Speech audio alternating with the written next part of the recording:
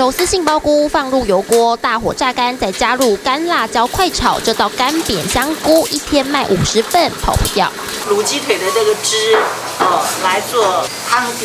还有这道黑毛猪剁成薄片，加入特调酱汁和辣椒酱，或是熬煮八小时鸡汤的过桥米线等，道地云南料理仁和园在北市飘香六十六年，改地点后首次入围必比登推荐。这次添加了大薄片，他把我们六十六年的老菜也入列了，所以我觉得蛮骄傲的。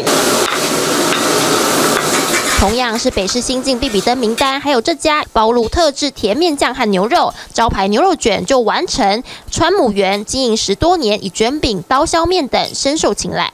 来这边买东西吃就哦很好吃，然后就会变成常客。还有素食料理也入选，别看这好像韩式炸鸡，其实里头包的是花椰菜，还有洛梨甜菜根塔。不吃素的民众也被收服。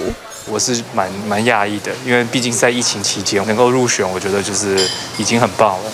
美食界盛事必比登，今年北市新进榜一共六家，不同以往的是，今年必比登还新增台南和高雄。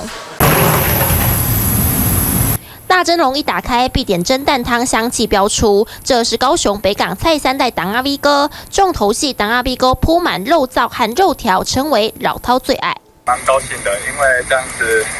对我们也是一种肯定吧。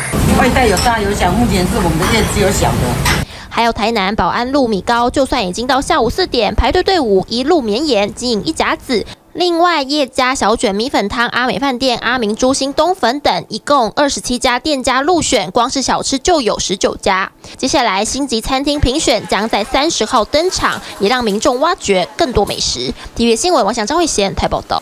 请支持 TVBS 国际 Plus 全新频道，让您扩大视野，掌握趋势，接轨全世界。恳请订阅，开启小铃铛。